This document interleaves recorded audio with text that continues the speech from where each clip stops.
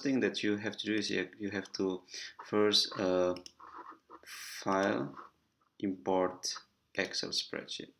Try to find the data that you already prepared in data format panel. Here I have one data and the most important you also have to click first row as a variable name. This is very important. And then click OK. So the data is like basically you have the country here the time series of the year and the data that you would like to have okay?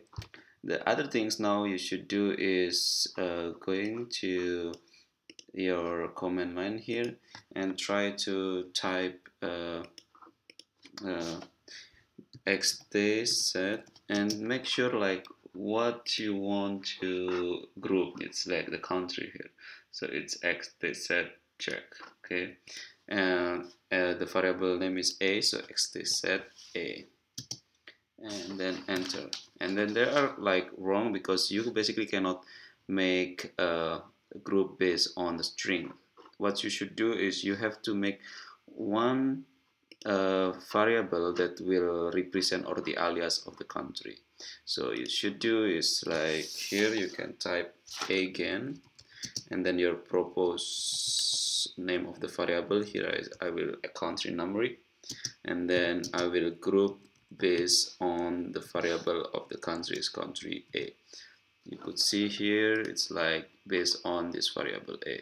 Okay so if I click here and then data browser you could see uh, there is one thing here. Okay the thing that now you should do is uh, you could see like list uh, A and country num just to see like whether it's already made or not. Okay. Separated by the variable A. You could see there is already like Czech Republic all A from 1 till 10 okay what's thing that you should do next is uh, we will prepare this uh, panel data base group of country numeric uh, okay so you could see it's already balanced and it's ready. It means like every sample has the same year or uh, the same uh, similarity in number of year. And then uh, try to make xt set country num. Is like based on this. And then the year. So here the year is yearly is this b is every year and you can make it yearly. Okay. See now your data is ready. Okay so what we want to do?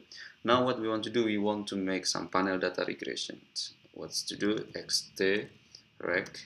And then the first is the dependent variable. Here dependent variable I want to say like IPO the that I already uh, make a len from it so I extract IPO len and then the independence variable gov expand len and then len in rnd and enter.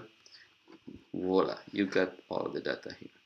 Okay that's all. Thank you guys